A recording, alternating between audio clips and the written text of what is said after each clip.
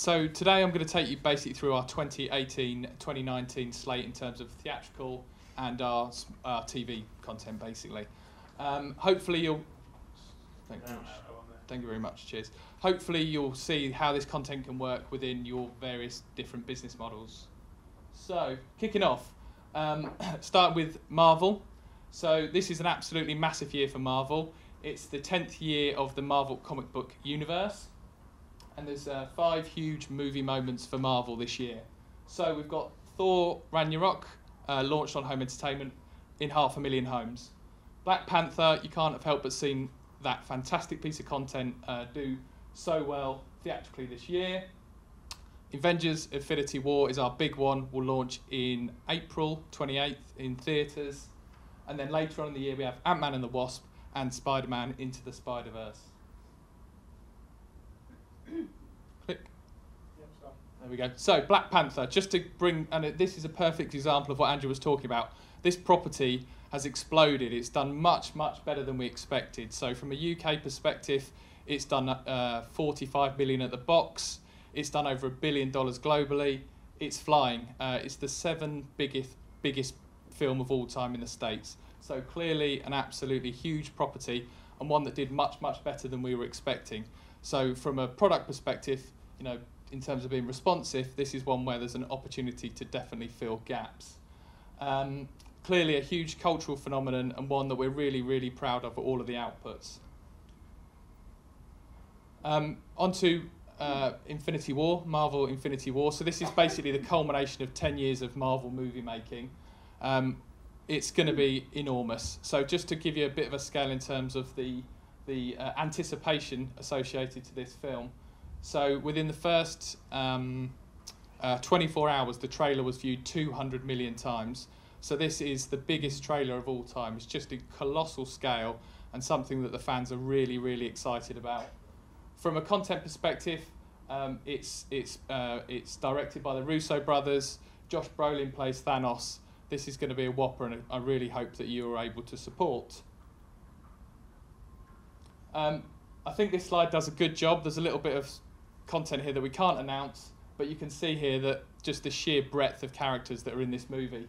So we've got Black Panther, Spider Man, Captain America. This is all of everything that Marvel's been working towards for the last 10 years coming together. Additionally, in the year, we basically close off the year with Ant Man and the Wasp uh, and Spider Man Into the Spider Verse, uh, launched by uh, Sony Pictures. I think this one's worth a special mention because obviously the iconic nature of Spider Man's great for product, but also the very stylized, beautiful nature of this film, I think, will work brilliantly across a number of your business models. So uh, then I'll move on from Marvel to Star Wars, um, and not to be outdone, uh, the the the, the uh, guys over at Lucas bring us another massive, massive movie. Uh, Solo is obviously the backstory to my favourite Star Wars character, Han Solo. Now move on to our uh, family slate for 2018. I'll quickly start with Coco. Uh, it's a Grammy winner, it's an Oscar winner, it's a Golden Globe winner. It's done really, really well for us, 20 million at the UK box office. Um, I, the reason to bring this one up is a very similar profile to Moana, same time of year launch and uh, very similar box office. That actually went on to do superbly well um, from a consumer products perspective. So, one to be aware of and definitely to think about for your product ranges. And on to our big play for the family audience for the summer is Incredibles 2.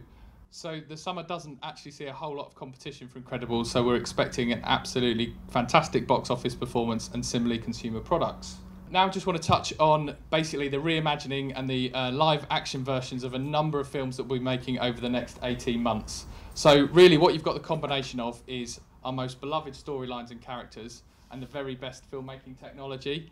And those combinations will see us bring to market Dumbo, Lion King, Christopher Robin, The Nutcracker, and this Christmas, Mary Poppins. The other thing, just for anybody selling licensed products in the room, uh, this November, December, December is uh, Mickey Mouse's 90th birthday. So again, there'll be a lot of PR, a lot of energy around that event, and it's a great opportunity to sell product. So to take you quickly from the big screen to the small screen, um, back in 2014, Disney really had a very strong position within the preschool market. We had uh, franchises such as Dog with Stuffins, Sofia the First, Jake and the Neverland Pirates, and Mickey. Since 2014, uh, I guess our strength has been diminished a little, and we've seen other properties take a, a, a strong hold within this marketplace.